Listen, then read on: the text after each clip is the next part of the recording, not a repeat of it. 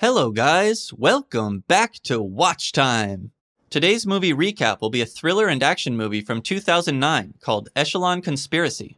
Warning, there are spoilers ahead.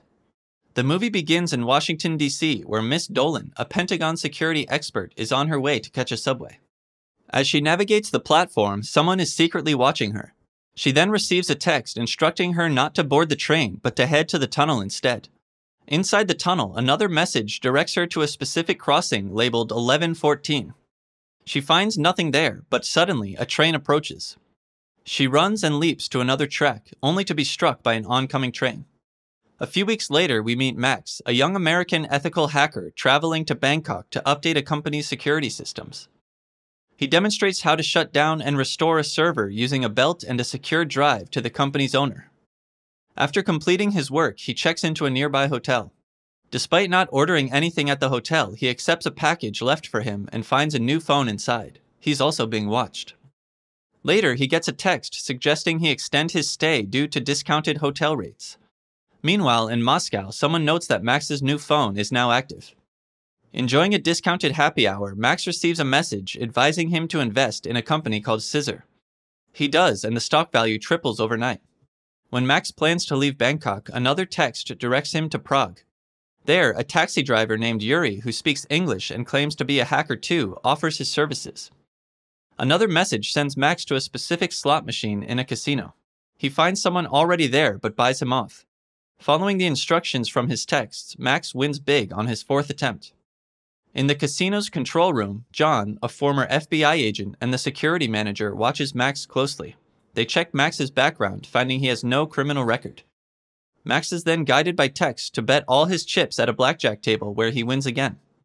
Caught using his phone, which is against casino rules, Max claims he was texting his mom. He steps outside and calls Yuri for help.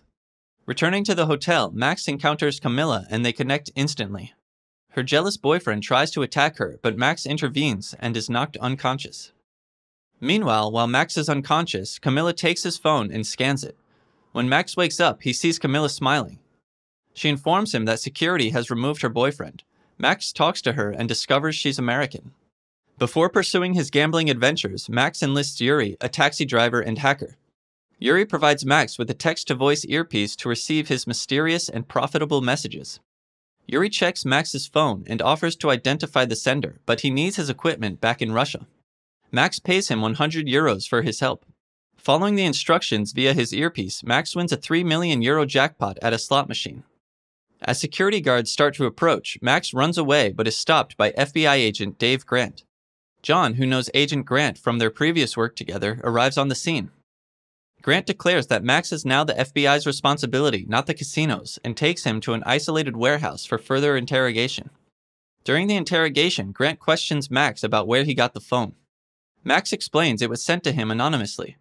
Grant leaves, somewhat believing Max's story. John later tells Grant that his superiors want Max back to learn how he outsmarted their casino.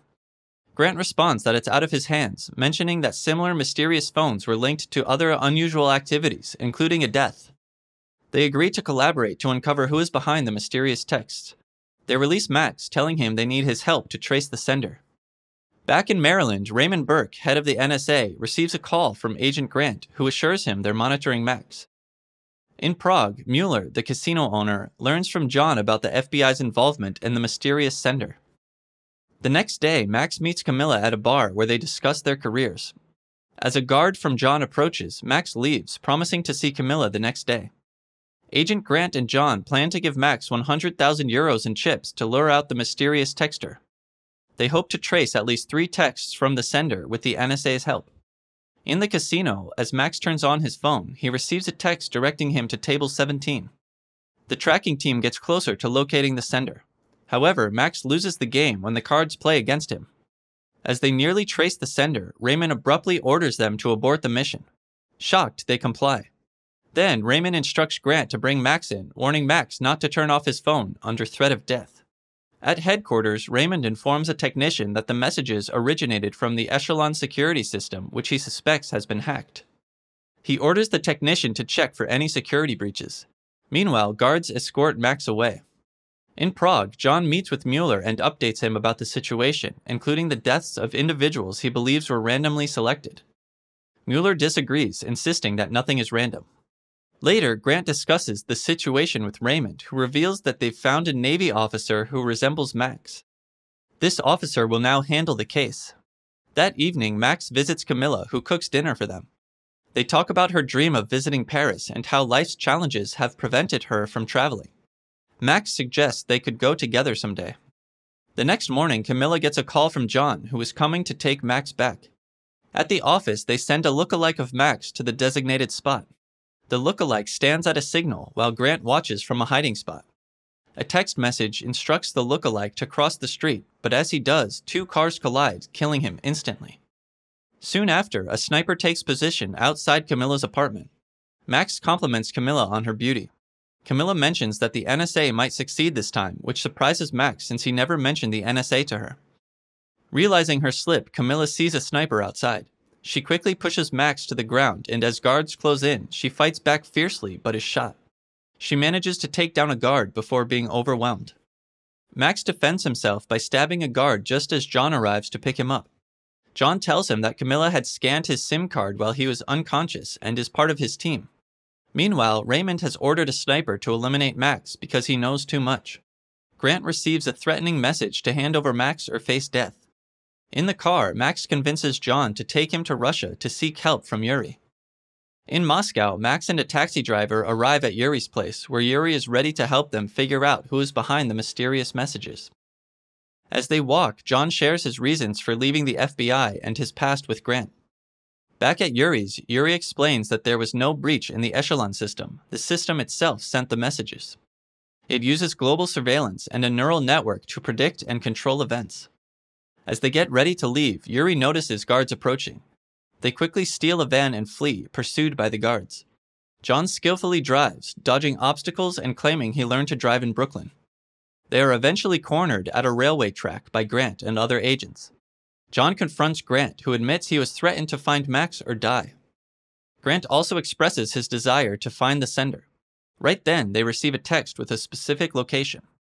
They fly to Nebraska to a site hosting an unused backup server. Max is familiar with this server from previous work. A SWAT team blasts the door open for them.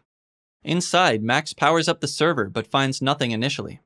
An NSA expert checks but also finds nothing. When they step outside, NSA technicians spot activity on the server. Back inside, they learn that the Echelon system has moved itself from Maryland to Nebraska and is upgrading. Max tries to shut it down, but is warned off as the system starts showing the private credit information of thousands. Outside, Raymond instructs Max that the president wants Echelon active for national security, and interference will be met with severe consequences. Max, however, connects to the system with his earbuds and argues it's betraying its purpose by invading privacy. This causes the system to conflict internally, showing articles about its privacy breaches and ultimately shutting itself down. The guards overpower them, leading to their surrender. Raymond tells the president the system is down, but they'll try to restart it with improvements. John texts Mueller that the problem is resolved. Later, Camilla bails Max out of prison and they reunite outside the prison. She presents him with a check for 3 million euros from Mueller and they plan a romantic trip to Paris. Max then receives a congratulatory text reminding him of the time he jokingly told Yuri the text were from his mom, revealing Yuri's connection to the Russian army. The Russian army general commends Yuri on his mission. Yuri hints that the Americans will likely try to reactivate the system. After the general leaves, Yuri presses a button on his phone and the movie concludes. Thanks for watching. Don't forget to give a thumbs up and subscribe. Take care and see you next time.